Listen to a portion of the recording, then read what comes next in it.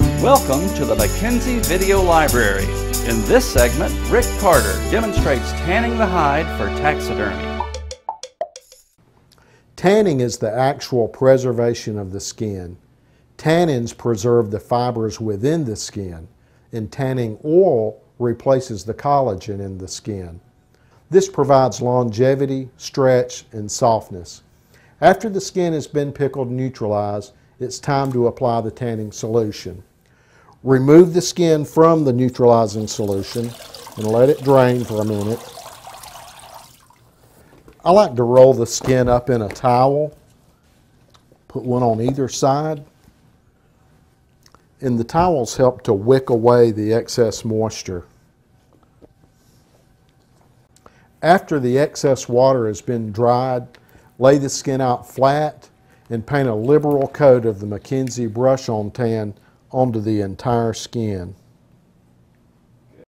Avoid painting the tan into the hair, but if a little gets in the hair, it's really not going to hurt anything. Be sure you get a nice liberal coat all over the skin. Roll out the eye, skin, and nasal areas so that the tanning oil can penetrate.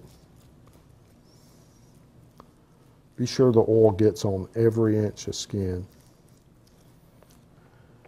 After you've painted a nice even coat, fold the skin and cover it with plastic. It needs to stay at least five hours, preferably overnight. The hide has really soaked up the McKenzie tan, so now we're just going to rinse the skin in clear water. Rinsing the skin will get rid of all of the excess oil or residue that might still be in the hair, but it's not washing out the tan. Drain off the excess water, and again, roll the hide in towels to drain off the excess moisture. I'm also going to put a towel inside this skin.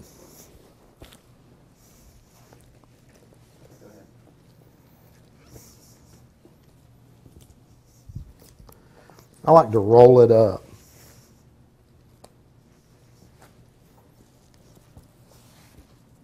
Once the skin is dried pretty well, you can remove the towels and that skin really feels good.